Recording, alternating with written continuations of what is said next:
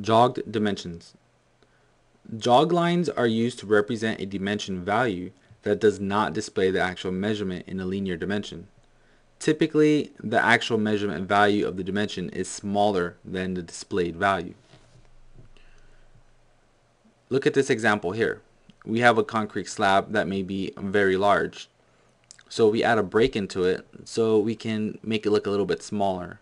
That way when we put it into model space and get ready to print it onto a piece of paper, we can fix the size the way it looks and it looks a little bit better. Well, let's go ahead and come to the Annotate tab. First, you have this file yourself too. You can go ahead and open a new project, browse to your Chapter 9 folder, and then go to Jog Dimensions. I'll go ahead and cancel this because I already have it open myself. Well, under the Annotate tab, under Dimensions panel, this icon here represents your jog dim line. Let's look at the tooltip for a second. If you hover your mouse over it, you can see there's a part and it has a few cutoffs, uh, breaks, so it doesn't show the entire piece. Well, let's go ahead and dimension this object here. I'll go ahead and pick the linear dimension, span out a bit, and if I place a line here and a line here and pull all the way out, currently this is measuring 600 units. Now we don't need to worry too much yet right now what the units are. The idea is this point here to this point here is 600 units. But let's say this is actually supposed to represent 1000 units.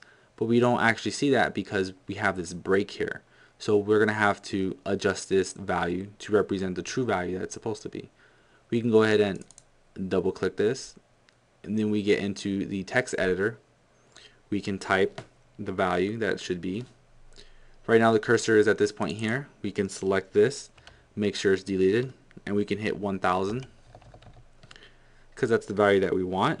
We can add as many decimals as needed because we are basically overriding the actual dimension of this line.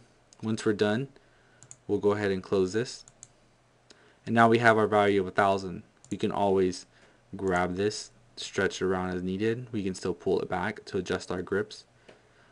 But we want to make sure to specify to those that are looking at this design that from this point to this point it's not actually measured a thousand. We actually entered it ourselves.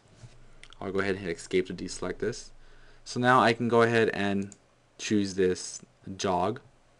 And AutoCAD is asking me to select the dimension to add a jog to. I will select this dimension.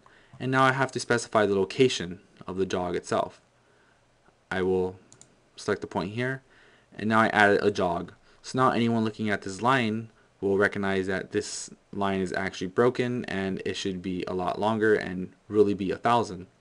But if we were to measure it the value wouldn't actually show 1000 I can always select the jog select remove and I can select the jog to remove and remove it.